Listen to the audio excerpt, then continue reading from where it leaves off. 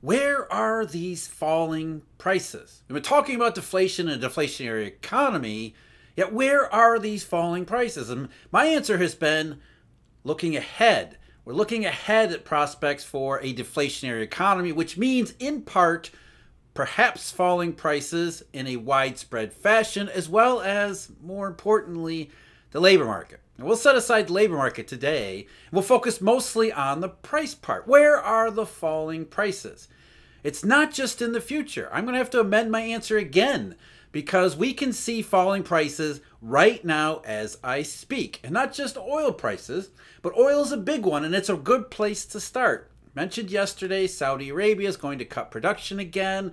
And the oil market initially went, okay, that's a huge production cut. Prices rose precipitously for a couple minutes, and then boom, by the end of the day, oil prices were actually lower yesterday than they had been on Friday. They went even lower today in the early morning before rebounding, but are basically right back to where they were to end last week, which is oil prices on the average are heading slightly lower, certainly a lot lower than they were last year. And remember, last year everybody said oil prices were going to be the start of the great inflation, mistaking what the great inflation actually was. But oil prices were a huge component because everybody thought, as a contributor to much of the global economy, as one of the key inputs to pretty much everything, higher oil prices meant that it was going to translate into everything from producer prices to consumer prices, and it was going to create this upward spiral. So the fact that oil prices today are even ignoring production cuts from the biggest producer around tells you a lot about, well, deflationary potential and not strictly in a price means. But there's others. As I said, this is not just about oil. It has gone even further. I've talked about China's PPI, China's producer and producer prices and factory gate prices. Those are down on both a monthly and year over year basis, pretty substantially year over year. We'll get an update on those in a couple days, Thursday evening. The U.S. producer prices, those have rounded off, and some of them are actually heading lower too. We also got another one yesterday, this one from Europe. Europe's producer price index fell by the most on record in the month of April. So, as I said, deflation and deflationary economy looking forward, but we can also see it in prices right now. So naturally, the question is okay, oil prices, producer prices, what do those necessarily have to do with consumer prices? Set aside the general economy and demand and all that kind of stuff. Let's focus is there a relationship between producer prices and consumer prices? Because, I mean, it seems like there should be. We, uh, was, economists used to call it the pipeline theory, or essentially that commodity prices would go up, then producers would have to raise their own prices to uh, to absorb those costs, and then they would pass those along to consumers in the form of consumer price increases. Everything that, that people were saying last year about how 2022 was going to represent the start of the great inflation because of oil, pipeline theory. And the pipeline theory was largely discredited about 25 years, 25 more than 25 years ago. Um, couple studies in 1995. One of the most cited ones is called Do Producer Prices Lead Consumer Prices? And it found only a weak relationship, really, um, especially before the 1980s. There was another study in 1995, the Commodity Consumer Price Connection Fact or Fable. It it found again some predictive power, but mostly before the wave of globalization that swept over the 80s, 90s, and 2000s. But a recent study published last year by the Federal Reserve Bank of Richmond says, well, if we focus on modern changes in methodology in the PPI, as well as the post 2008 environment, we find a much stronger correlation between producer prices and consumer prices, and it doesn't have necessarily to do with the pipeline. So we got falling prices right now, especially on the producer level. We've got deflation, and that continues to point toward deflation in the general sense moving forward. Record fall in European producer prices means a lot more than just falling producer prices in Europe. But first, I'm Jeff. This is Eurodollar University. Thank you very much for joining me. If you're interested, Eurodollar University has memberships available, exclusive video content where we go over what a Eurodollar is, what the Eurodollar system is, more importantly, why money needs to circulate through it, in order for everything to work, or at least appear to work. We also have research subscriptions available. A daily briefing I put out, put out in partnership with MarketsInsiderPro.com. That's Stephen Van Meter and Tracy Schuchart, the three of us together in a single bundle, as well as a daily deep dive analysis where we dive even deeper than we do here on YouTube into all of these things curves, money, macro, all of it. All the information available for you at our website, eurodollar.university. falling producer prices all over the world, including the United States, oil prices going lower and wanting to go even lower from here. That's the contango part of it. What does that mean as far as, okay, great for producer prices, but what about everything else? I'm going to talk about the Federal Reserve Bank of Richmond. This was a brief economic brief that was put out in September during the height of the inflation frenzy. It's called building a pipeline between producer and consumer prices and it again it focused especially on the 2008 uh, forward so really 2009 up until around september of last year. Now we're, we're not looking here to use the producer price index to predict exactly what the pce deflator is going to do in the future. That's not what we're really interested in we're really interested in general terms. If the PPI is rising rapidly, does that tell us something specific about what's going to happen in the consumer price part of the economy as well as the general overall economy? Because whether the pipeline theory works or not, it seems like there should be a relationship there. And of course, this paper does find one. But again, we're not looking for precision. We're looking to say if producer prices are, say, going down currently and maybe down sharply in some parts of the world economy, does that tell us something important? Does that tell us something significant about the potential for consumer prices as well as the large economy at large? But again, we're focusing here just on prices. Here's what the paper said. The model finds evidence that the two price indexes do indeed move together over the long run, a relationship that economists call co-integration, with growth rates of PPI having a statistically significant impact on the growth rates of PCE prices and vice versa. In addition, the gap between the two series matters as well. When the gap between the PPI and PCE index strays beyond its usual level, the two series will adjust to normalize that gap over time. Now they don't say which one is which, which is causes the other, but we do what they do say, what they do say is that there is a relationship between producer prices and consumer prices. And one reason that might be, at least in terms of the index constructions, is that the the BLS redid its PPI indexes in 2014 because they thought, well, you know, they reorganized it in, in the actual flow of producer producer work from raw materials to intermediate goods to finished goods into usable stuff that goes into the real economy through wholesaler and retailers. It's known as final demand, intermediate demand system. And that's uh, the authors here in Richmond said that's one important reason why the PPI, which is a more accurate picture of all producer prices, especially since it incorporates more of the services economy, maybe that accounts for why the PPI lost its predictive power or lost its co-relationship with, with consumer price numbers up until recently, let's say, and that this reorganization in 2014 led to more a, much better picture of producer prices. Therefore, we can go back and think, okay, now we have a more accurate measure of producer prices. Maybe that accounts for some of the variation. And they say it does.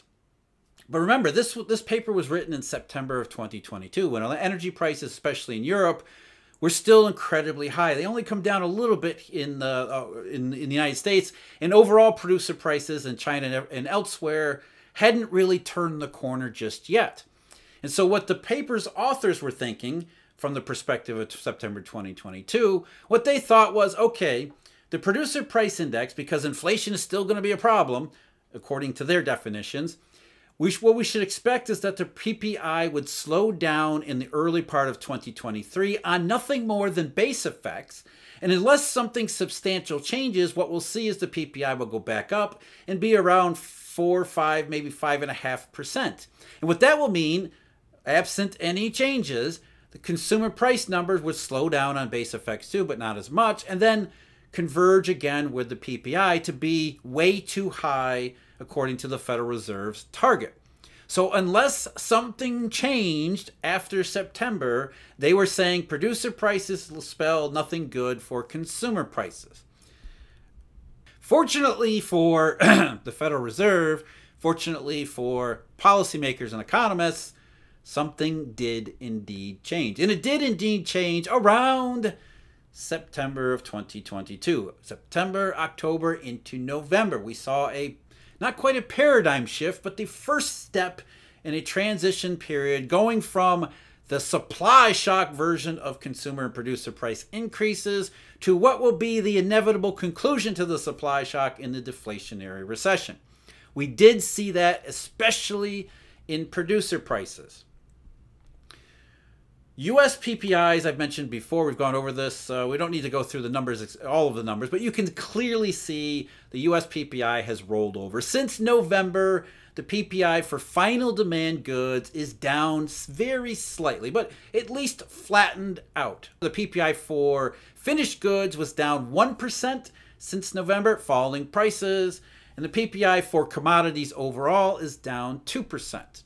Remember, this is globally synchronized. It's not just about the US, it's not just about China, it's not just about Europe. So if we see producer prices falling in the US or the producer prices falling in China, it's likely to be the same everywhere else. And if more and more producer prices start start to fall in the big economies, everything else is going to fall in line with that, including eventually consumer prices, which is our point here. So back to what I said in the beginning. Europe Europe's producer prices they, those fell by the most on record. Now, records only go back to 1999, but still, we're talking about more than two decades of data, almost 25 years of data, 3.2% decrease month over month in the month of April. And that is actually the third time over the last seven months where we've had a round 3% month over month decline, going back to September and October.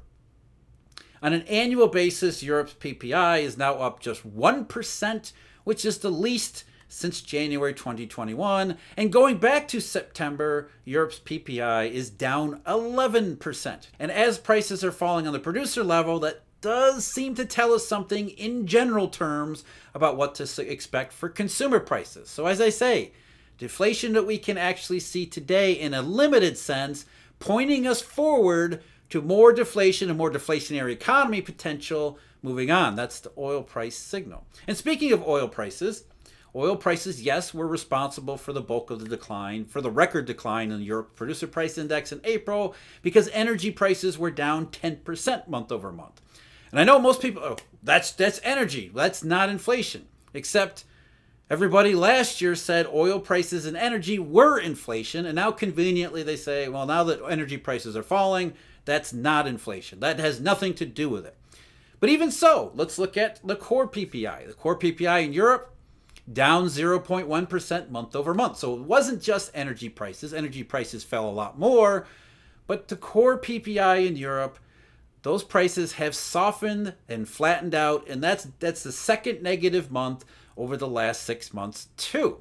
So there's a rolling over in core producer prices in Europe, just as in the United States, with energy prices leading the deflationary charge all across the producer price segment of the global economy. Because again, globally synchronized. This is not just about the US, China, or Europe.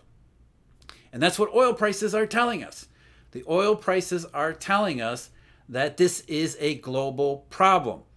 And oil prices don't just contribute to PPI indices and then eventually CPI indices. They are the fundamental cross currents between supply, demand, and money.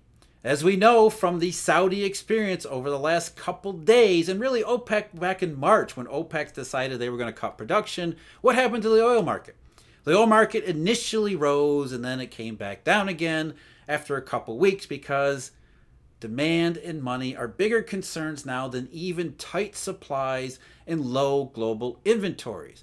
Demand is falling, and we can see that in any number of places all around the world, including the United States, talking about the ISM's non manufacturing index. Factory orders here in the US are declining too. They're down sharply, especially for consumer goods. I think they're off 7%. Big change in the economy last year that's showing up in producer prices. And even if it isn't in consumer prices yet, we're looking at deflation moving forward. One final point uh, we'll go back to Europe here because it's, you know, Germany's a big key trading hub, not just for Europe, but the entire global economy, which is what we're really talking about with all of these things. Producer prices that are falling because of weak demand. Germany's factory orders. Germany's factory orders were down absolutely huge in the month of March. They were down almost 11% month over month in March. Huge reduction a lot of that was large orders for uh, aircraft and capital goods, big, big, big projects and things like that. But even ex- excluding those orders, uh, factory orders in March were down almost 8% month over month. So a huge decline in factory demand, and much of it coming from, much of the decline in demand coming from outside of Germany. So factory orders were expected to rebound in April because, I mean, that's just how things go. You have a huge decline, then things come back, and then they go down. And you have that sawtooth pattern. Analysts were expecting factory orders to rise 3%, a little bit of a rebound after 11% decline. But instead, factory orders actually fell a little bit more 0.4% more month over month in April. Not a huge decline, but following a huge decline, it, it is a huge decline. Orders for consumer goods were down 2.5%, another 2.5% month over month. Domestic orders actually increased in Germany, a little bit of a rebound there, which simply meant, and my major point here in bringing this up, factory orders from outside of Germany fell another 1.8% in April. Consistent with oil prices, consistent with now falling and maybe even sharply falling producer prices, pointing toward the deflationary economy with deflation that we can actually see today in widespread, important fashion.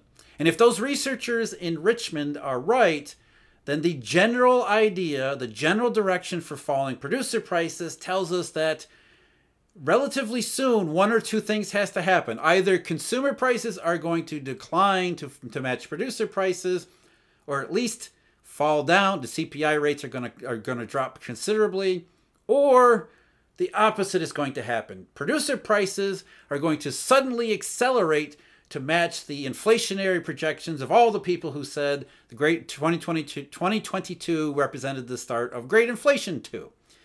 And with oil prices struggling even with uh, Saudi production cuts, you can see that's not likely to happen. Instead, more and more and more, we see everything moving in that direction, which is why I continue to say when people ask, where's this deflationary economy? Where's this deflation?